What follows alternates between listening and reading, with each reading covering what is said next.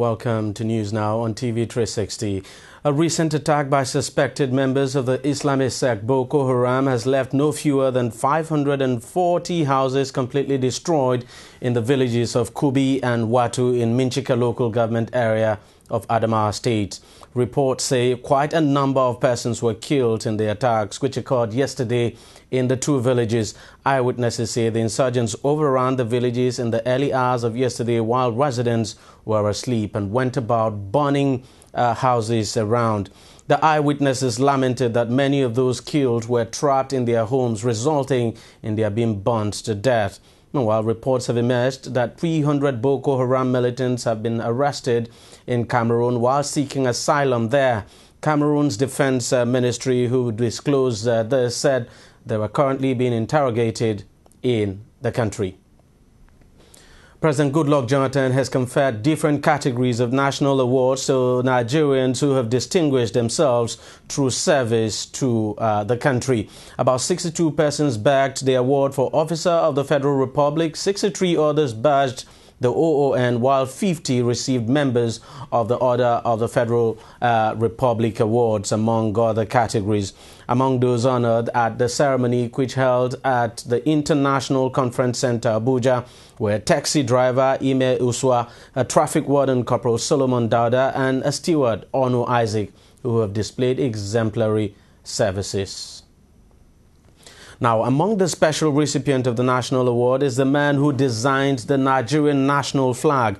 Pa Taiwo Akinkunmi, for a very long time, has been neglected by successive administrations in the country. But the old man can now smile broadly because, apart from the award of Officer of the Order of the Federal Republic he got, President Goodluck Jonathan has now placed Pa Akinkunmi on a lifetime salary as special assistant to the president. Pa Akinkunmi designed the Nigerian flag in 1959 when he was barely 23. At the time, he was a student studying in London. His design of the national flag was adjudged the best among other entries for the prestigious National Flag Design Competition held at the university campus. The then Nigerian High Commissioner to the United Kingdom, M.A. Martins, liked the design and passed a proposal to adopt it as the national flag of Nigeria. Well, we can only say congratulations to Pa Akinkunmi. I actually read a lot about him when I was in secondary school. So, congratulations to him. Now, this is surely something that would uh, put a broad smile on the face of Nasir El Rufai, Nigeria's former minister of the Federal Capital Territory.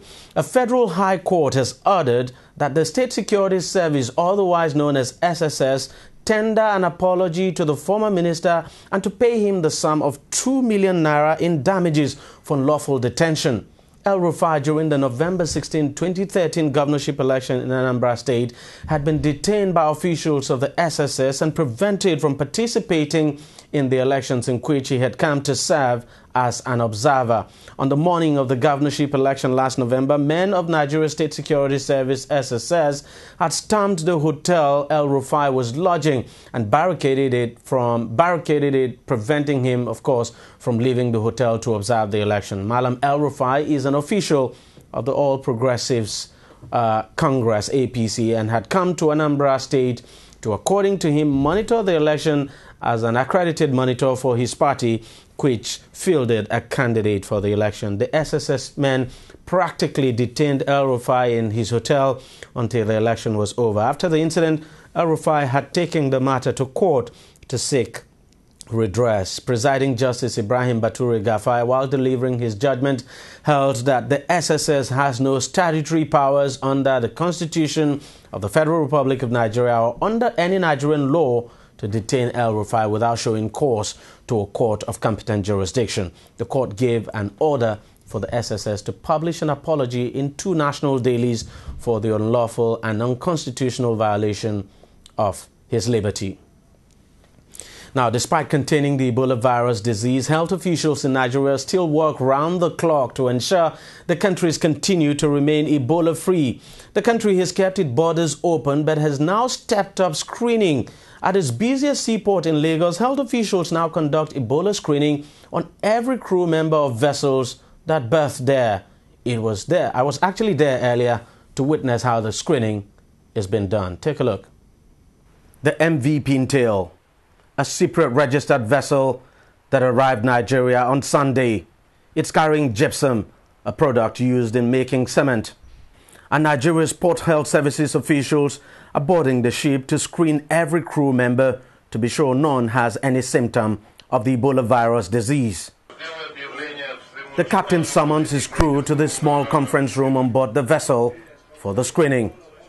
Port officials want to see what else is on board among the crew, so their temperatures are checked for anything abnormal, especially Ebola. Any abnormal temperature reading would be a potential red flag. And this is the second time health officials would be screening the crew since the ship berthed at the port. For every ship that arrives, Port Health is required and mandatorily boards every ship to give them a free pratique. What that means is clearance that they can get off the ship and that other agencies can board the ship, meaning that the health status of the ship and the crew has been certified. Now, because of the Ebola outbreak screening um, activities, in addition to that, we administer the primary screening form, which they fill out, and a temperature check is done. Now, for any crew member who may be unwell or who may have a raised temperature, every terminal, like the terminal we're at now, has a clinic. And so we have trained them and we work closely with them. The Port Health Clinic is also located here. And then the passenger, the, sorry, the crew member is triaged. If it's an Ebola suspect case, then they're evacuated to the isolation center. Otherwise, they're treated medically. Ebola has largely been contained in Nigeria. Not a single person is known to be under surveillance for the virus across the country. But health officials say they are not taking chances. As long as other countries in the sub-region still have an outbreak, we're persistently at risk. Basically because you have passengers who still transit by air, by land, and by sea. So we need to be sure that they're not bringing anything in, and we need to be sure that there's no cross-border um, transmission. So for the ports, regardless of whether it's um, a ship that has passed through affected areas or not, the procedure is the same across board. But so far, so good nothing abnormal has been detected. They're still going to continue to take the temperature reading of the crew members until the ship leaves the port here in Nigeria. Arik Airline is set to resume flight operations to Banjul, the Gambia, October 1 after about two months of suspension due to the Ebola outbreak. The airline had suspended its operations to Gambia following the decision of the Gambian government to ban Nigerian carriers from operating into Banjul Airport. Managing Director of the airline, Chris Ndulue, who announced that uh, flights would commence from October 1, noted that the security and safety of air passengers and crew was a top priority to the airline. Ndulue said Arik would operate three weekly flights from both Lagos and Abuja to Banjul via Accra, Ghana on Wednesday, Friday, and Sunday. According to him, with the new schedule, the airline would be allowing the Banjul route to sell three market segments on one operated flight. Now, a senior medical officer in Liberia has put herself under quarantine for 21 days after one of her assistants died from the Ebola virus disease. Deputy Health Minister Bernice Dahn said she had no symptoms but wanted to take every precaution by deciding to go into quarantine. The minister, whose assistant died of the infectious disease on Thursday, said she had not come in contact with any other infected people apart from the office assistant who died this week. The chief doctor who represented Liberia at international Ebola conferences has also instructed his staff to stay at home for the same time period where they will be placed under observation for 21 days. That's a full incubation period of the virus. The World Health Organization, WHO, says more than 3,000 people have died, died from Ebola in West Africa. Of the four nations affected by the Ebola outbreak, Liberia has been hit the hardest, with 3,458 people infected and 1,830 persons killed by the disease. That's according to data now released by the WHO last Saturday. We'll take a short break now. When we return, we'll look at other stories. New, the new thing in music is African music. It's fresh. It's very, very energetic. Hey, what's up, my people? They call me Two Face Idibia. And right here, right now, it's One Love all the way from Afrima. Everybody, come out, come out, come out.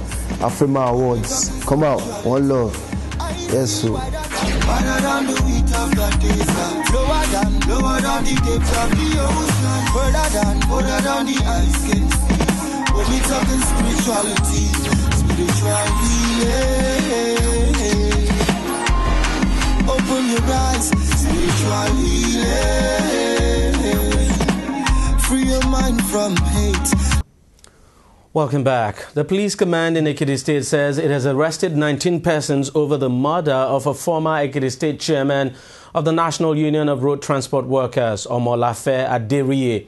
Aderiye was killed by some unidentified gunmen in his office along Ijigbo Street in Ado-Ekiti last Thursday.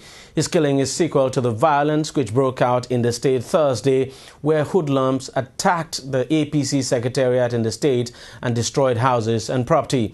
Aderiye had been a staunch supporter of the governor-elect Ayodele Fayose and had allegedly led hoodlums to disrupt a court proceeding where a judge was beating up. State Police Com- uh, Public Relations Officer Victor Babayemi confirmed the arrest to newsmen in Ado-Ekiti on Monday, but did not reveal the identity of those arrested.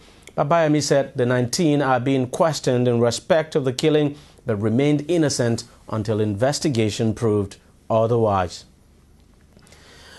To business now, Minister of Mines and Steel Development Musa Sada Monday said the federal government of Nigeria was planning to establish fiscal policy regime for the solid mineral sector in the country.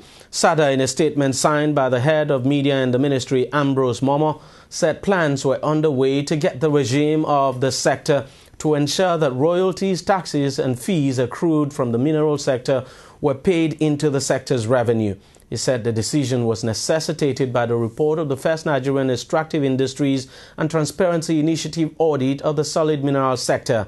According to him, the government's objective was to ensure that more production was carried out in the sector and corresponding taxes paid to government coffers. He added that various strategies were put in, have actually been put in place by the ministry to monitor the amount of royalties paid to government from mining operations. The Nigerian Deposit Insurance Corporation says uh, it will review the insurance coverage it provides for primary mortgage banks to ensure effective operations of, the of that sector. NDIC Managing Director Umaru Ibrahim, while speaking at the opening of a two-day workshop for PMBs on Monday in Abuja, said the corporation is also reviewing the basis of premium of the PMBs in the country. The PMBs, by the way, are the primary mortgage banks. Now, he said instead of using the flat rate, which was the initial practice, the corporation would introduce risk-based premium assessment system. This, he said, was obtainable with the money deposit banks. Ibrahim said with the move, the corporation will be able to promote safer and best practices in the process. The best manned and managed institutions will have less premium burden on them to the foreign scene now. One time US based academic Ashraf Ghani has been sworn in as the new president of Afghanistan. The ceremony at the presidential palace in Kabul marked the country's first democratic transfer of power and opened a new era after the rule of Hamid Karzai, who was president since the Taliban regime was ousted in 2001. Ghani took an oath to abide by the country's constitution at a swearing-in swearing ceremony attended by up to 100 dignitaries. In his first speech as president, Mr. Ghani said he would work for long-term peace, promising to tackle corruption and make constitutional changes where necessary. To sports now, Nigerian pair of Esther Sunday and Onome Ebi have gotten the green light from their foreign outfit Minsk of Belarus to team up with their Super Falcons uh, teammate now at the forthcoming African Women Championship in Namibia. The duo are among the five overseas players yet to arrive in camp as the Super Falcons began preparations for the AWC. The Belarus women top flight outfit had earlier held out on allowing the Super Falcons players play any part in the CAF Senior Women Championship, which is not listed in FIFA calendar over concerns of distraction to its league activities. The Super Falcons are drawn in Group A of the championship alongside Ivory Coast, Zambia, and host Namibia in the tournament holding from October 11th to 25th. That's it on News Now for now. We thank you very much for watching. We're back again later.